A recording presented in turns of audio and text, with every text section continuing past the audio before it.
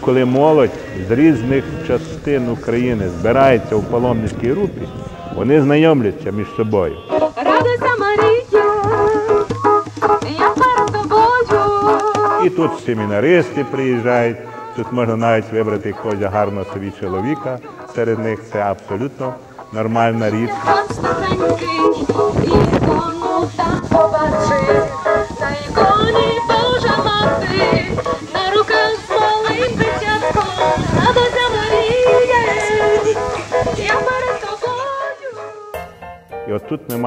дійсно таке місце відпустове, марійське, де може будь-хто прийти не тільки тоді, коли йдуть ці походи, але в будь-яку неділю, будь-яку свята, на утренню, вечірню, а особливо на богослужіння і прийняти до свого серця Христа в своєму серці.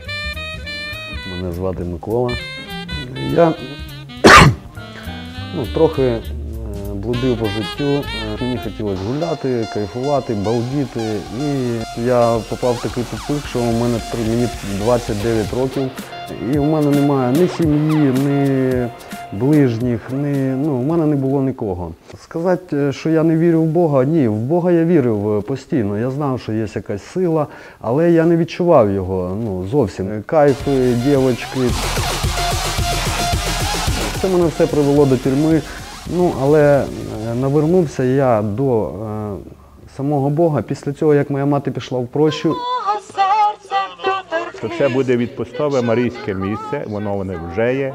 Що кожного року є паломницькі групи, які приходять в це село, і воно об'єднує як молодь сусідніх сіл і містечок, і йде цей похід з Мелітополя сюди, в Снігурівку. Я їхав сюди так з такою думкою, що якся перетерплю ці три дні, що там мені будуть там, ну, що мені там священнику цьому розказувати, якщо я там завтра буду опять е, прострелювати комусь ноги там.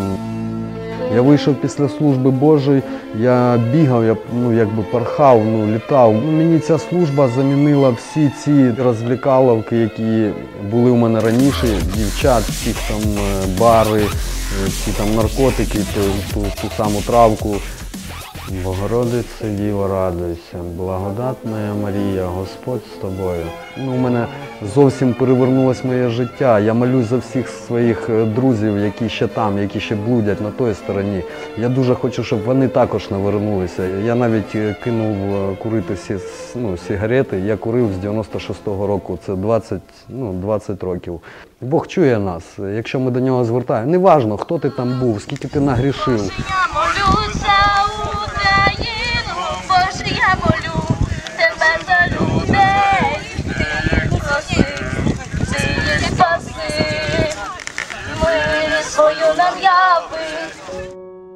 Коли почала війна, то якраз перед іконою Божої Матері просили зберегти нашу Запорізьку область від цього, щоб ця ріка зла ненависті не перенеслася далі.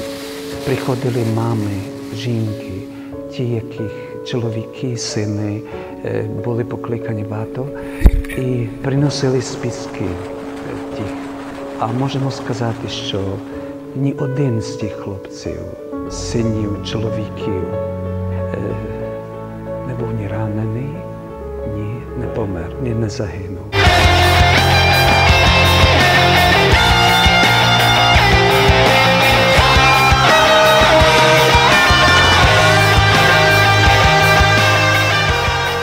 Мене звати Зоя. Я сама римо-католик. У церкву я вже ходила сім років. Але ну, це я приходила так. Прийшла на молитву, приїхала, помолилася, вірила, дома читала. А коли у 15-му році у мене, в 14-му захворів чоловік на рак. Я за нього молилася, і він прожив до 13 липня. А потім він 13 липня його не стало. Коли його не стало, я думала, що в мене закінчилось життя. Мені не хотілося жити самій. У мене у психіатричній больниці лежала ще сестра рік і три місяці. Врачі не знали вже, що робити з нею.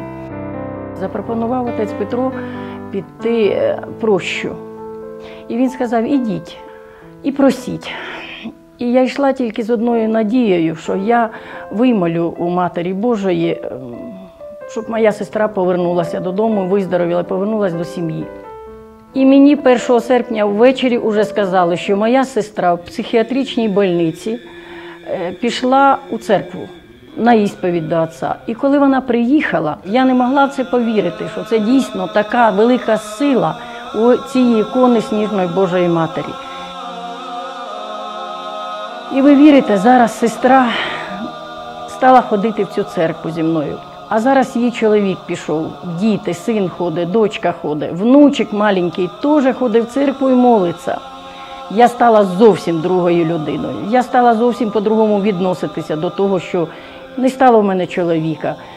І зараз навіть питаюсь, трошки виходить в мене вести і маленькі групки школи нашої християнської.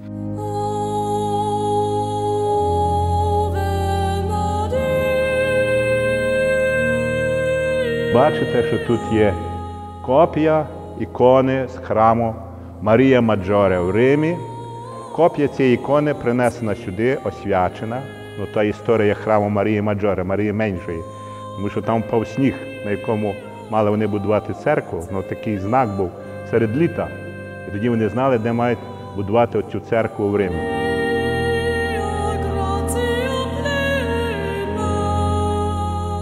Так що, дорогі мої, молімося за схід України.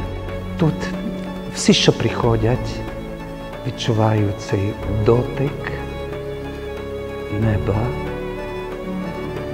в своїх душах, в своєму житті. І наша справа донести Христа до будь-кого. І коли вони оцього Христа сприймуть, ми змінимо цей світ.